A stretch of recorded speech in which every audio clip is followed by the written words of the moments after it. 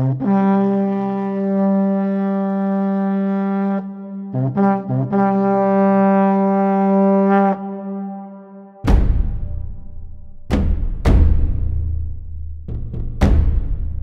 everyone, this is Gary from Fantastic Fundas and in this lecture we are going to talk about whether the Congress should do the civil disobedience movement against the British decision of including Indians in the war without asking them. Simply put the question is to CDM or not. I'll just do the quick background to this. And we know that the Congress has won the elections and the war is already on. The World War II I'll just put it here. Elections are there and then uh, World War II is already on. And we are already in the war. What to do so that is the question. Now different people different stands. Let us see what all have to say in this. Uh, first of all we will begin with congress. So what is the congress stand? Gandhiji and other main leadership they give three reasons for not starting the movement at this time. Let us see what, what these reasons are. Or you can do one exercise also. Can you quickly think of the reasons for which we should not be doing civil disobedience movement at this time? If you can you, you just take pause the video here, think for a moment and then come back. Okay. Now, the three reasons are number one is the cause of the allies. They say that the because the Brit Britain and France are just. Britain and France are just. Their cause is just. So we should support them. That's number one. Number two is that in India there is no Hindu-Muslim un unity and we have done a long series on the uh, topic of communalism spreading and we also know we also know that how Muhammad Ali Jinnah was into the extreme phase of communalism communalism by now. And the number three is that the atmosphere didn't exist. What do you mean by this that atmosphere didn't exist i'll just tell you that uh, in a moment and atmosphere didn't exist what this means it means that uh, my masses are not ready for such a thing. Neither the masses are ready nor the Congress is ready for such a mass struggle. It was not organizationally prepared. Because why it wasn't prepared? Because Gandhi realized that the Congress of that time had turned corrupt. It had uh, uh it had uh, this lack of cohesion. It was undisciplined. So, so discipline was poor, and there was no cohesion in the people. And because of these things, the there was not it wasn't possible to run the CDM. And then uh, he also you know said that we must exhaust all our uh, possibilities of negotiations with the government so that the government is seen wrong by all. So we must negotiate with all. If you have uh, read ramayan even lord ram at the uh, uh, before he declared war on Ravan, offered to negotiate. Otherwise, there can be an accusation on you of not of being peaceful. So that is why Gandhi said that we must negotiate to the extreme, which of course is a good idea. And uh, that that's how it, things should be. We should always try to solve things amicably. And number uh, four is that he said people should feel that the masses are ready. I'll just write here. People should feel that the masses are ready and it's time for the mass action only then it can be done. Now this was the Congress re uh, reaction, called the stand of the Congress regarding whether to CDM or not. Let's look what, what the left had to say regarding this. They said that let's war and they, regarding communalism and corruption in Congress, those problems can be tackled on later once the struggle uh, has started. And uh, regarding the organizational strength, uh, this is communalism and corruption in Congress. Uh, regarding the uh, organizational strength that can be built during the struggle. You cannot prepare for the for the war first and then go to fight. They believe that we must go to fight directly and then build on uh, later on along with the war. But then you know left were split internally also. They had their difference of opinion. And for example uh, Bose wanted left to split the Congress if they don't launch the struggle and organize a parallel Congress and then launch their own struggle. So that was the Bose uh, uh, idea uh, of uh, CDM and but the but the congress socialist party and the communist party of india the csp and the cpi they differed from both on this. They said that no struggle could be launched without gandhi number one. Number two they said that uh, the attempt should be to pressurize the congress to launch the struggle and not launch our own struggle. So these are the two points on which the leftists were getting divided on this issue of whether to CDM or not. Now that was the leftist idea. Now let's see what Nehru has to say because Nehru is an important figure at this time. So we must know his what were his views. He said that uh, he, he knew, he understood that the war was imperialistic in character, that is, it had its own imperial uh, uh, views related to imperialism. It was expanding at the expense of India. But in no case, Nehru wanted Hitler to win because Hitler was a bigger threat than had Hitler won, that it would have been disastrous for India also.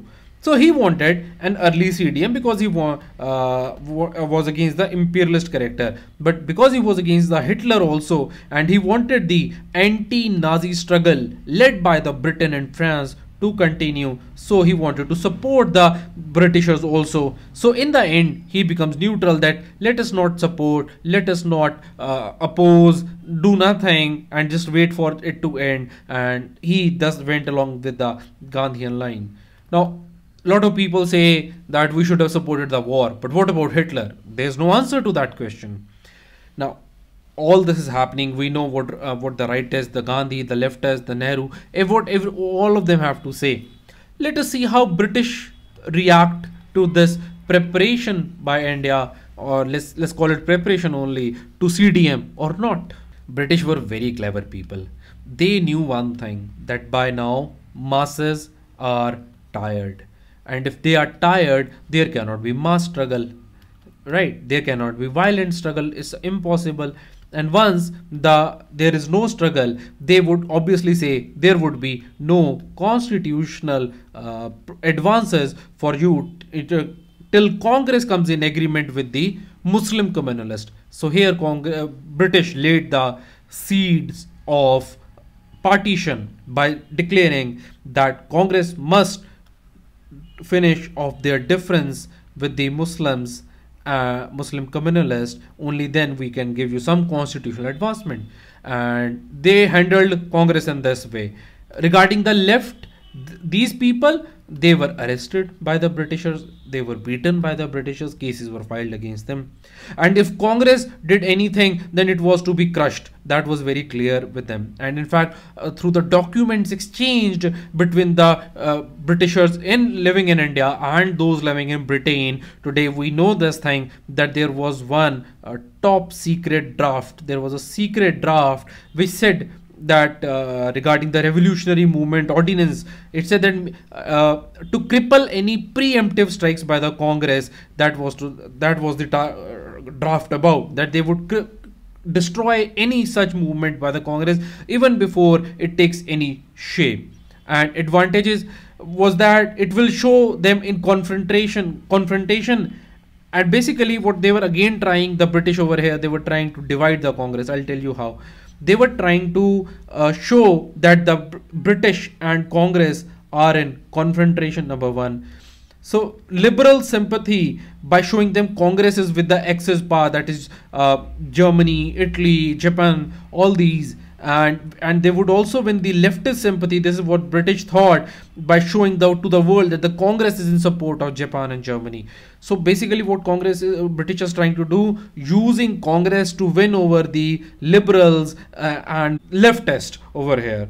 And all these also got the support of the uh, all these policies got support of the secretary of the state zetland so you know all this these things they just prove one thing everything we we talked about in this lecture that they did not want to leave india after the war was over. So they are not going to leave india.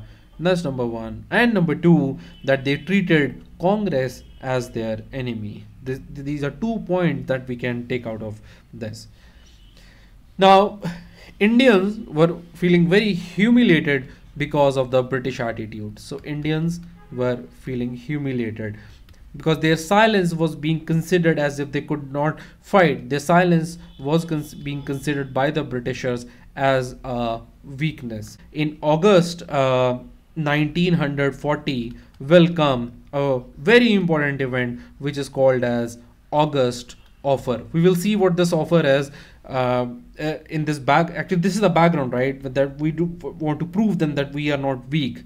So there will come August offer, and after August offer comes individual satyagraha. This is the movement which tells the British that we are not being silent here. We can also fight you. We'll talk about it why this was limited satyagraha or this individual satyagraha and why was it launched. And while all this was happening uh, this august offer came there also came just before the august offer one important event called the pakistan resolution. I have already talked in detail about this. I'll just give you a quick reference about these things now. Okay so now let's begin with this pakistan resolution. Just a quick revision of what we talked about. This this pakistan resolution this was brought by muslim league in lahore and so this is also called as the Lahore resolution and the purpose the aim of this was the greater Muslim autonomy in the British India. That was the aim. And this resolution it was pre presented by few people. For example it uh, it involved uh, Fazlul Haq and also it involved people like Muhammad uh, Zafarullah. Zafarullah. Okay and it said what, what are the demand uh, how this Muslim autonomy will be given? This will be given uh, by in the shape of that the northwest frontier province and the eastern part all this shall be made autonomous independent and sovereign. Okay independent autonomous sovereign and in other regions there would be safeguards for the muslims. So safeguards as another demand for the muslims of the other regions. And you already know this right? This although this is called pakistan resolution uh, the word Pakistan was not proposed here. It was first proposed by Chaudhry Rahmat Ali uh, uh, in his uh, you know Pakistan Declaration 1933, and uh, Jinnah and all these leaders they kept their firm belief in secularism at that time, Hindu-Muslim unity. But this idea of Pakistan resolution really culminated here of Pakistan with the Pakistan resolution. And why do I say that? Because it was through this resolution that which, this, which formed the basis of the 1946 um, for the for the Muslim League to struggle for the one state for the Muslims. And and and the one and that direct action day in August and all those things will be uh, on the basis of this Pakistan resolution by the Muslims. Or rather not the Muslims we should say the Muslim League because not all Muslims were part of the Muslim League. Now this resolution this came in March 1940 and after this in march 1940 um, i mean this pakistan resolution came very important event in 1940 and this is called as the august offer. Now this offer it was an offer given by the britishers to the indians first of all from the british to the indians of course regarding some concession they would like to give to india but can you think of the reason because of which British would get ready to talk to Indians? Because just a few moments back we talked that how Britishers are not ready to conciliate to any extent, um, to, to, even to the minimum possible extent uh, regarding Indian freedom struggle. But here they talk about it, and the reason is that because Britishers are starting to losing their war against Hitler. Britishers have come home to us that let's talk, let us give you something. And what have they got in this August offer for Indians? Let's see that. Number one, they say, they now are saying, we will give you dominion status. Something that Indians demanded in 1929, starting from somewhere in 1917, 18, or probably even before that. Uh, we, we were seeking this thing then, and 10 years or 12 years down the line now they are offering us this thing. Do you think we will accept it? Let's see that. Number two they said that okay we want you to have more representation and suddenly they get very concerned about indians and they say in the executive council we will have more seats for the indians. And number 3 now you will be surprised by this change of heart of the britishers they said which they Linlithgow had just denied just a few um, uh, you know minutes back in this lecture or, or, probably in the earlier lecture that the constituent assembly was to be set up after the war. So they are planning now the constituent assembly uh, to be set up set up after the war. But uh, you know they people will have to follow government orders regarding few things. They're coming with, uh, to us seeking uh, help with an offer and even in that they are putting some conditions. For example um, regarding these four things britishers would have absolute control and these are number one the minority rights. Number two defense. Number three is the treaties now these are treaties is very important because there were so many princely states in india. And number four is the all india services.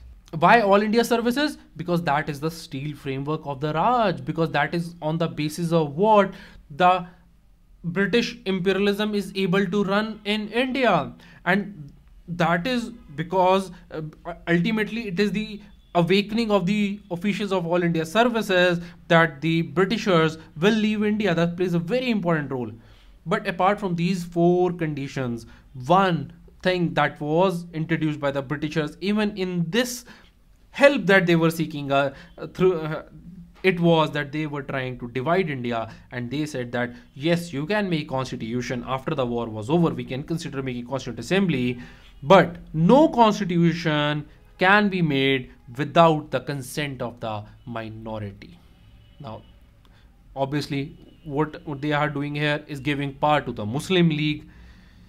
So this is an offer. Do you think it's a good offer? Pause the video and think for a moment. What kind of reactions would come to this video, uh, this uh, August offer? What do you think? Uh, how Congress will react to this, or how Muslim League will react to this? What is your evaluation? Why don't you just write two, three lines in your copy and uh, think over it? That uh, how do you evaluate this August offer by the Congress? And you can also uh, write down the question uh, and send it to me for checking. Um, the question is that critically uh, evaluate, uh, critically comment on the August offer of 1940. Now let's see what were the reactions to this. First of all, let's check what the uh, Congress had to say. The Congress reaction, they said, are you giving us dominion status now? We are not seeking it anymore. Now we want full independence. This is not we we have struggled in ourselves among our, among our people only to seek dominion status and then you didn't uh, give us. Now we don't want it. What about muslim league? Muslim league of course they would like that because this had created a possibility for the partition of india and jinnah would love it. The evaluation is that for the first time, now this is very important, for the first time, the Britishers have considered few things, and this was that you know that the Britishers are ruling India. For the first time, they were telling us that even we can give you power. For the first time, they did not say that Indians are unfit for ruling. Now, that is why August offer is so important in Indian history. And in after uh, in in this August offer that, that this was in August 1940 and in July 1941 there came the executive council was actually enlarged. And but not defense finance and home dfc Def- defense finance and home these three things were not given dfh rather. These things were not given. And at this time only in fact national defense council was formed by the britishers um, not of much importance to us at this time. Anyway, so this August offer was uh, quite hypocritical on the part of the Britishers because ultimately, even in the in seeking help, they were trying to divide us. And how do we respond to this August offer? Our response to August offer came in the uh, shape of individual satyagraha or the limited satyagraha. Let's see what this is individual or limited satyagraha. Um, now, before I do this individual satyagraha, I would like to share with you this amazing video of the um, meeting of Gandhi and Tagore. And then there is the small clipping also has uh, showing Gandhi launching individual satyagraha. Just see this first and then we can discuss uh, later after the video in detail. See this video please. For a while, to pass beyond the darkness that enveloped the destiny of the world, Gandhi and Kasturbai visited Shanti Niketan at poet Tagore's invitation in February 1940.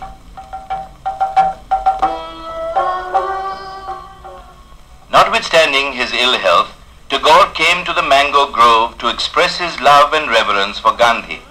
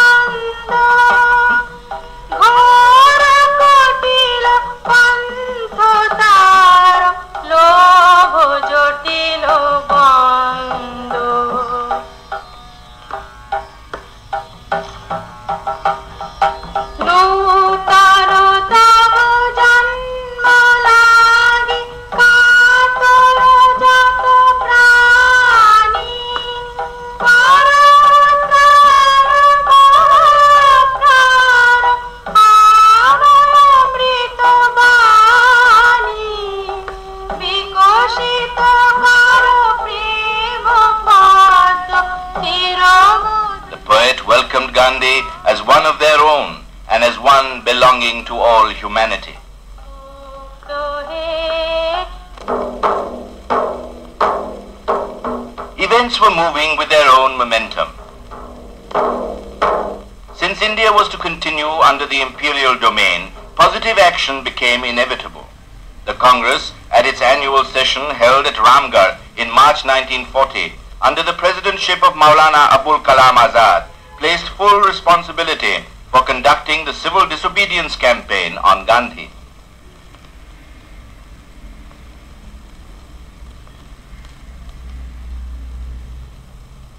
Stressing the need of discipline, Gandhi said, the essence of satyagraha is not to shout slogans, but to carry out in letter and spirit the word of your chosen general. Reluctant to carry the policy of non-embarrassment to the point of self-extinction, Gandhi decided to launch individual satyagraha as a moral protest against war. He chose to keep himself out and selected Vinoba Bhave as the first satyagrahi to preach publicly non-cooperation in the war effort.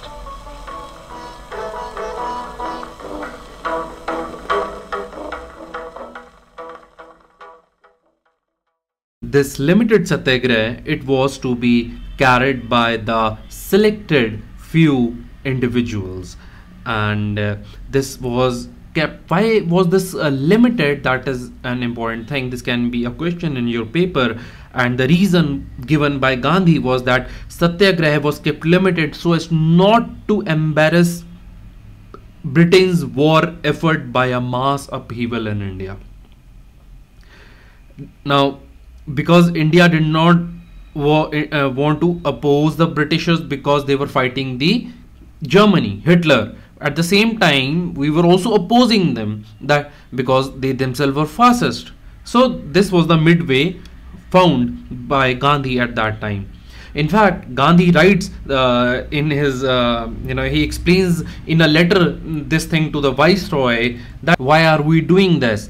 and in fact this question has been asked in paper the statement was given in one of the exams and it was asked that who said these words so i will just read it out to you the congress is as much opposed to victory for nazism as any britisher can be but their objection cannot be carried to the extent of their participation in the war and since you and the Secretary of the State for India have declared that the whole of India is voluntarily helping the war effort, it becomes necessary to make clear that the vast majority of the people of India are not interested in it. They make no distinction between Nazism and the double autocracy that rules India. This statement, this letter to Viceroy Gandhiji sums up uh, clear clarifies why this was limited satyagraha. And you can always quote the first two lines of this given statement that the congress is as much opposed to the victory for nazism as the as any britisher can be. And now let's see how this satyagraha was supposed to work. Actually the demand of these satyagrahis was that uh, it, it was for the freedom of speech and to preach against the participation in the war. So the basic demand was the freedom of speech against the participation in the war.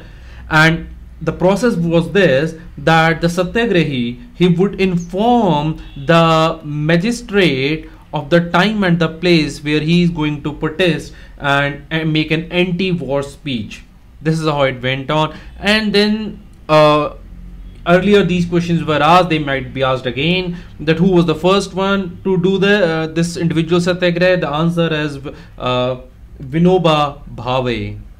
Vinoba bhave. He went on satyagraha on 17th october 1940 this date is not to be remembered. Now i'm referring it just for the sake of understanding Vinoba Bhave was the uh, first person to do this, and after him went um, uh, second person was uh, Jawaharlal Nehru. Second person was J. L. Nehru. J. L. Nehru. And if you want to know the third person also, I'll name him for you. The third person over here was um, Brahm Dutt. Now, if the the in this process like he will he'll go to the magistrate make a declaration of the time and the place right? Now if suppose uh, if the satyagrahi is not arrested then he would again repeat the performance and he will move into the villages and start a trek towards delhi. And this movement over here came pop popular as what is now known as uh, delhi chalo movement or delhi chalo movement delhi chalo or go to delhi let's move to delhi that kind of movement now, this satyagraha it solved two purposes. This was very important for India. Why? Because number one, it gave an expression to the people of India. So that is number one importance of this.